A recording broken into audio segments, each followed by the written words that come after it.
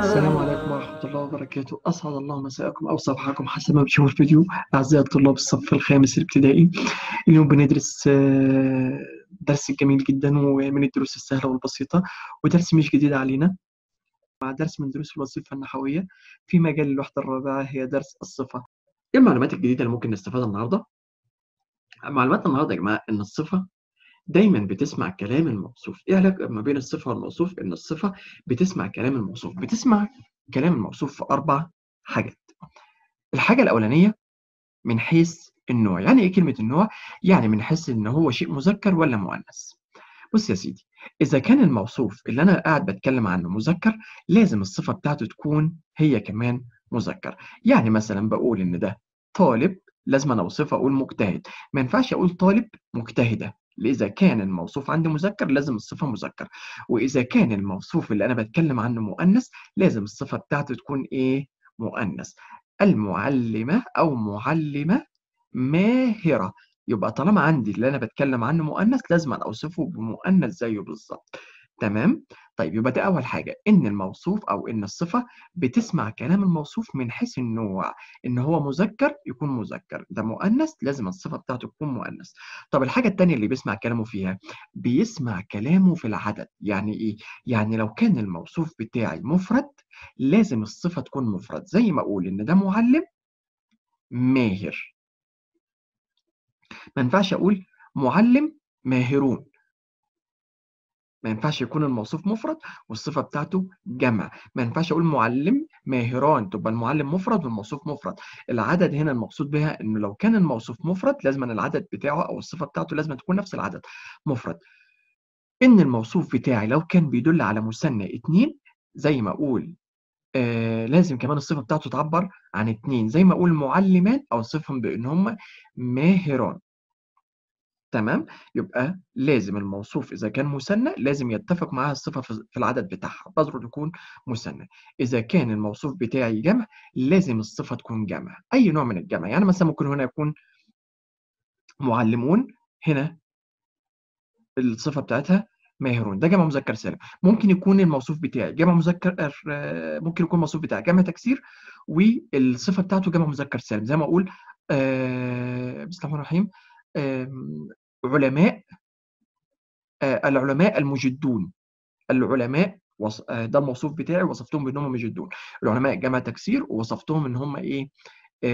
مجدون ده جمع مذكر سالم. تمام؟ العلماء المجدون يبقى أنا عندي هنا المهم إن يكون نفس النوع المهم إن هو يكون نفس نوع العدد.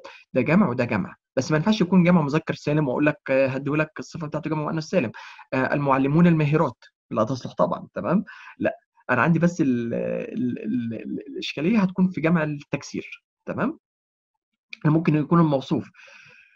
جمع تكسير والنوع بتاعه الصفة بتاعته تكون جمع مذكر إيه؟ سالم يبقى أنا النهارده اتعرفت دلوقتي أو لحد دلوقتي اتعرفت على حاجة إن الصفة بتسمع كلام الموصوف في حاجتين لسه كمان حاجتين. أول حاجة بتسمع كلامها في النوع. إذا كان الموصوف مذكر الصفة بتاعته مذكر. إذا كان الموصوف مؤنث الصفة بتاعته تكون مؤنث. بتتبع الصفة بتسمع كلام الموصوف في العدد. إذا كان الموصوف مفرد لازم تكون الصفة بتاعته مفرد. إذا كان الموصوف مثنى لازم تكون الصفة بتاعته مثنى إذا كان الموصوف جمع لازم تكون الصفة بتاعته جمع. واتكلمنا ممكن يكون الموصوف جمع جمع تكسير وإن الصفة بتاعته جمع مذكر إيه؟ سالم. في ملحوظة لازم أقولها لك برضو في العدد. إن ممكن يكون الموصوف عندي جمع تكسير وإن الصفة بتاعته مفرد. زي ما أقول الأشجار المثمرة. أهو الأشجار كان عندي الأشجار. عندي كانت جمع تكسير والمثمرة كانت مفرد. تمام؟ خلينا برضو في دماغنا الملحوظة دي. طيب تعال نبدأ نشوف برضو إن الصفة بتسمع كلام الموصوف في إيه. الصفة بتسمع كلام الموصوف في الحاجة الثالثه من حيث إن هي معرفة أو نكرة. يعني كلمة معرفة يعني إن تكون الكلمة فيها ألف ولام. وكلمة نكرة يعني ما فيهاش ألف ولام. معرفة زي إيه مثلا؟ يعني معرفة زي إيه مثلا؟ زي مثلا ما أقول الطالب أهو في ألف ولام لازم أن تكون الصفة بتاعته معرفة لازم يكون فيها ألف ولام. المجتهد. ما ينفعش أقول الطالب مجتهد هنا تبقى مبتدأ وخبر. إنما لما يكون عندي الشيء اللي بتكلم عنه فيه ألف ولام والصفة بتاعته فيها ألف ولام خلاص يبقى دي كده الصفة أو إن ده كده النعت بتاعه. تمام؟ يبقى الصفة بتسمع كلام الموصوف في عملية التعريف. يعني إيه؟ يعني إذا كان ده فيه ألف ولام ده لازم أن يكون فيه ألف ولام. إذا ده ما فيهوش ألف ولام يعني نكرة لازم أن يكون الصفة بتاعته ما فيهاش ألف ولام نكرة زيه. معلمة ماهرة. هنا ما فيهاش ألف ولام هنا ما فيهاش ألف ولام. في عندي ملحوظة لازم انتبه ليها برضه. تمام؟ إن أسماء الأشخاص والبلاد والدول كلها معرفة. يعني كأن فيها ألف ولام. أبها معرفة. اعتبر إن هي فيها ألف ولام. بدايتها ألف ولام. تمام؟ لما أقول أبها الجميلة أقول لك الجميلة صفة يا أستاذ إزاي؟ الجميلة فيها ألف ولام وأبها ما فيهاش ألف ولام. قلت لك إن أسماء البلاد أو الدول أو الأشخاص كأنها فيها ألف ولام بالظبط. تمام؟ فاعتبرها إن هي الأبها الجميلة. يبقى الجميلة هنا فيها ألف ولام وأبها فيها ألف ولام. يبقى الجميلة هنا أصبحت صفة. لما أقول لك محمد الذكي الذكي دي صفة. يا أستاذ إزاي؟ ده الذكي فيها ألف ولام ومحمد ما فيهوش ألف ولام. قلت لك إن اسم الشخص اعتبر فيه ألف ولام. يبقى محمد فيها ألف ولام اعتبر إن هي فيها ألف ولام والذكي بعديها فيها ألف ولام. إذا الذكية هي إيه؟ الصفة. تمام؟ إنما لو قلت محمد ذكي لا تصلح. تمام؟ ليه؟ لأن محمد معرفة فيه ألف ولام وذكي نكرة ما فيهاش ألف ولام. يبقى ما ينفعش أقول إن الذكي هنا إيه؟ صفة. تعالوا نبص كده. من حيث الإعراب. بص يا سيدي. الصفة بتسمع كلام الموصوف في كل الإعراب. يعني إيه؟ يعني لو كان الصفة عندي مرفوع لو كانت الموصوف عندي مرفوع لازم الصفة تكون مرفوعة. لو كان الموصوف عندي منصوب لازم الصفة بتاعته تكون منصوبة. لو كان الموصوف بتاعي مجرور لازم الصفة تكون إيه؟ مجرورة. يعني من الأخير كده ودي أهم نقطة بالنسبة لي دي أهم نقطة. الثلاثة اللي باقيين اللي فاتوا اللي هي النوع أو العدد أو التعريف والتنكير بس يساعدك إنك تعرف إن دي الصفة. إنما اللي يهمني في عملية الإعراب إن الصفة بتسمع كلام الموصوف. يعني أنت يا موصوف مرفوع أنا مرفوع زيك. أنت يا موصوف منصوب أنا منصوب زيك. أنت يا موصوف مجرور أنا كمان مجرور زيك. ودي أهم نقطة بالنسبة لي. لازم أكون عارفها. تعال نبص كده على الأمثلة ونبدأ نعرفها. حدد الصفة في العبارات التالية. عايزين نحدد الصفة وبالتالي لازم أحدد الموصوف عشان أقدر أعرفها. محمد طالب متفوق. أنا أبدأ أشوف يا جماعة. أبدأ أشوف. أشوف الكلمة اللي بتوصف اللي قبل منها. ينفع أوصف محمد بأنه طالب؟ ينفع؟ أنا سامع واحد يقول لي ينفع. طب تعال نبص كده. أنا قلت لك إن لازم الصفة تسمع كلام الموصوف في كل حاجة. تعالوا أول حاجة نشوف من حيث النوع. يعني مفرد آه، مذكر ولا مؤنث؟ محمد ولد وطالب ولد. آه ماشي. ده أول حاجة.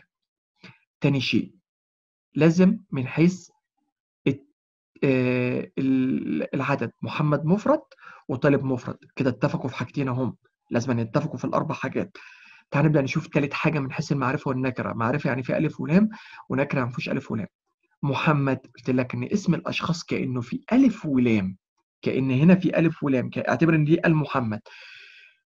هنا معرفة ودي نكرة ما فيهاش ألف ولام. إذا دي تطابقوا المرة دي؟ لا. يبقى دي ما تنفعش إن هي تكون صفة. يبقى دي محمد مبتدأ وطالب هي الخبر. تمام؟ تعال نبدأ نشوف. ينفع أوصف الطالب بإنه متفوق؟ آه. ينفع. أنا حاسس. طب تعال نشوف الأربع حاجات تتفقوا فيها ولا لأ. تمام؟ أو الثلاثه الأساسيين والرابعة هي الاعراب اللي هتهمني. نبدأ نشوف. الطالب مذكر متفوق مذكر زيه. الطالب عدده مفرد ومتفوق مفرد زيه. كده حاجتين. الحاجة الثالثه إن ده نكرة ما فيهوش ألف ولام وده نكرة ما فيهوش ألف ولام. يبقى هنا تطابقت شروط الصفه فيه. يبقى اللي أنا بتكلم عنه أو الصفة بتاعتي هي متفوق وكنت بوصف مين الموصوف بتاعي الطالب. أنا عايز أعربها اللي هي الشرط الرابع. أنا قلت إن الصفة بتسمع كلام الموصوف. يا صفة أنت مرفوعة ولا منصوبة ولا مجرورة؟ تقول لك لأ ما ينفعش أقول لك غير لما تسأل الموصوف هو مين الأول مرفوع ولا منصوب ولا مجرور. ساعتها راح اساله يا موصوف أنت إعرابك إيه؟ يقول لك دور عليا في الجملة. أنا جملة جملة إيه؟ جملة إسمية. والجملة الاسمية من اللي يخطر في بالي المبتدأ والخبر. محمد هنا أول الجملة يبقى هنا مبتدأ يبقى الطالب أعرفها إن هي خبر مرفوع بالضمة عشان ده إيه؟ مفرد. طب والصفة تقول له شكرا يا موصوف أنا بسمع كلامك. أنت مرفوع أنا كمان زيك مرفوع. وهنا مرفوع بالضمة لأنه إيه؟ مفرد. أحسنتم يا شباب. تعالوا نبص كده على المثال اللي بعد منه. أمشي كلمة كلمة. أشوف الكلمة دي بتوصف اللي قبلها ولا لأ. المديره يوصف كرمت لأ. ما تنفعش. الطالبات توصف المديرة؟ لا. واحد أنا شايف واحد عمال يقول لي يا أستاذ ده فيها ألف ولام فيها ألف ولام. قلت له يا ولد اسمع ركز. شوف الكلمة دي ينفع أنا حاسس إن هي توصف؟ طب أنت قلت لي أنا حاسس. أنت بتقول لي أنا حاسس إن هي توصف. ساعتها هقول لك طب روح بص لي على الكلمة دي. وشوفها لي كده. بص لي عليها. يا ترى دي عادتها كام ودي عادتها كام؟ دي مفرد ودي جمع. ألاقي واحد ذكي يقول لي يا أستاذ ما أنت قلت لي مش شرط. إن ممكن الموصوف مفرد والتاني يكون جمع. قلت لك بس ده خاص بجمع التكسير. بس خليني ماشي معاك. طيب ينفع أوصف الطالب ينفع أوصف المديرة بأن هي طالبات؟ أنا اتفقت إن الكلمة دي بتوصف اللي قبل منها. ينفع أقول للمديرة دي إن وصفها طالبات؟ لا ما ينفعش. يبقى ما تحققش عندي عشان كده بقول لك إن الصفة لازم أنا أحسها.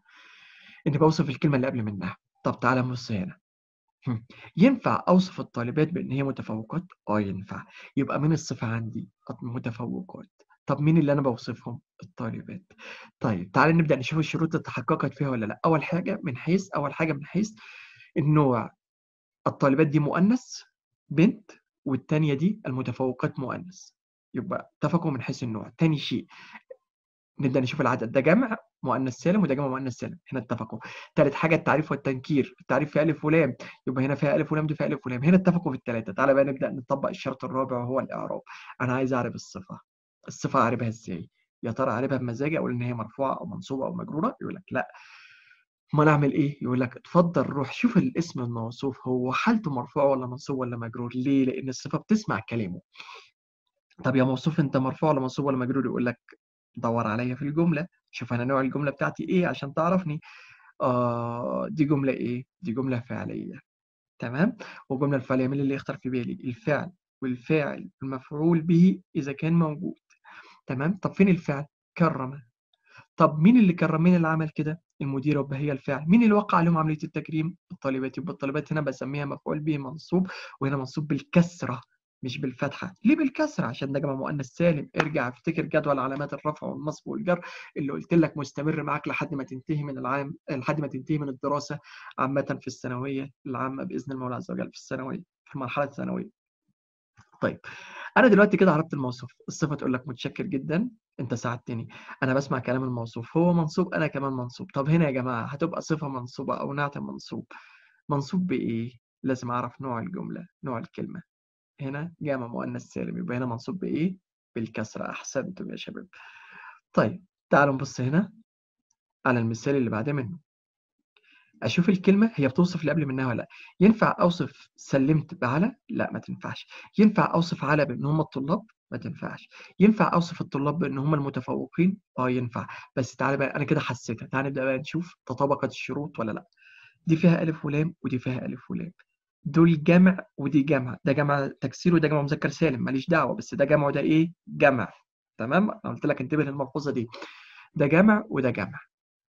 دول مذكر ودول مذكر. النوع بتاعهم مذكر مذكر هنا اتفق الثلاثه النوع والعدد والمعرفة الألف واللام. تعالى بقى نحقق الشرط الرابع اللي هو الإعراب.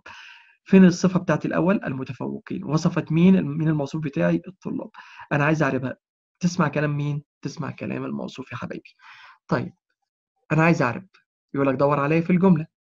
هنا راح أدور أشوف نوع الجملة. أقول لك اسكت ما تقولش كده. ده أنت عندك حرف جر. طالما عندك حرف جر قبل الكلمة اللي عايزها مش محتاج أشوف نوع الجملة. صح؟ إحنا اتفقنا على كده من زمان. يبقى هنا الطلاب اعرابها إيه؟ اسم مجرور بالكسرة لأنه طبعا دي لأنه يا شباب معلش معذرة على الخطأ لأنه جمع إيه؟ تكسير. طيب وبالتالي الصفة تقول لك شكرا أنا بسمع كلامه. أنت هنا مجرور بس هنا مجرور بإيه؟ أو المجرور بالكسرة؟ هنا مجرور بالياء لأنه جمع مذكر إيه؟ سالم. يبقى صفة مجرورة بالياء لأنها جمع مذكر إيه؟ سالم.